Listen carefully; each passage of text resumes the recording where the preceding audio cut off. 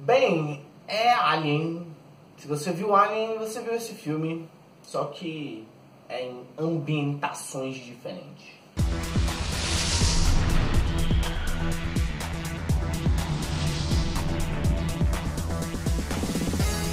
Então, maluco, Vida ou Life, que é um filme estrelado por um cast muito foda. Ryan Reynolds, Jake Gyllenhaal, Rebecca Ferguson e Hiroyuki Sanada. O filme nos traz uma história bastante interessante onde é encontrado vestígios de vida, o celular e tal. E essa equipe da estação espacial, eles são cientistas e tentam estudar essa nova forma de vida. Só que com o tempo isso meio que fica fora de controle e eles têm que lidar com essa situação com os apetrechos que são apresentados a eles. O estilo de direção eu acho bastante interessante por causa que como é um lugar meio que a câmera ela tende a se movimentar em 3D e tal, porque os personagens estão flutuando, não é aquele espaço onde as pessoas correm em corredores e tudo mais,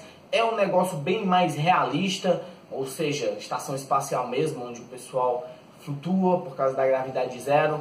Bastante legal, cara, a mecânica que é apresentada pelo filme. A parte prática é o que realmente vende o filme pra mim, como um todo, porque a história em si é, é Alien, é, é, Alien. Tem, tem um bicho e, e os caras meio que vão explorar algo, o bicho meio que começa a matar todo mundo. É, é isso. Como eles lidam com o alienígena e como eles tentam fazer as coisas acontecerem e tudo mais, usando os apetrechos, aí que vem a parte que é única. Como é um negócio um pouco mais pé no chão e tal, um pouco mais atual, então eu acho que o diretor e os roteiristas tentaram fazer com que os personagens fizessem coisas meio inteligentes e tal. Apesar de que sim, algumas vezes eles meio que caem naquele negócio de porra, velho, sério que você fez isso. As atuações são sólidas, você compra tudo que acontece com todos os personagens e as suas reações por serem cientistas e tal. Tipo, tem horas que você poderia argumentar que as pessoas ficarem malucas, tipo, ah meu Deus, what the fuck. Mas como cientistas e como eles são treinados para aqueles tipos de situações, não exatamente um alien querendo matar eles, mas situações de tensão, então você compra como certos personagens eles reagem à situação como um todo, às vezes agindo até de forma bem lógica. O roteiro sim tem um grande impacto nisso, mas os atores conseguem transparecer isso pelos personagens. Mas a parte mesmo ruim que eu acho do filme é que, sim, tem algumas partes que os personagens se comportam meio que de maneira idiota e tal. Principalmente no começo, onde temos um certo cientista que ele começa a enlouquecer e tal, de fazer umas coisas meio...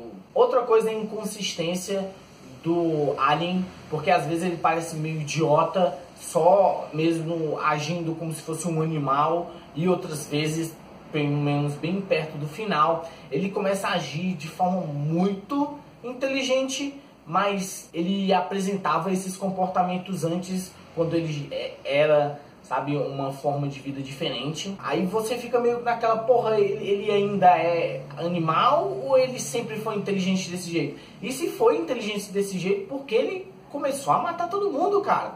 Ele poderia se comunicar mesmo. Outra coisa, é basicamente Alien. Então, você viu um filme, você viu todos. Agora, vale a pena assistir Vida, Se você nunca assistiu Alien, eu acho que é um filme muito interessante para você ver. Caso você tenha assistido, você não vai ficar lá muito surpreso com a situação e como as coisas vão se desenrolar. Apesar do final ser bastante interessante e diferente. Então, alguma coisa aí pra surpreender você. Pois é, mano, não esqueça de clicar nesses dois vídeos aqui, para lugar de vestir os contrários e tudo mais também.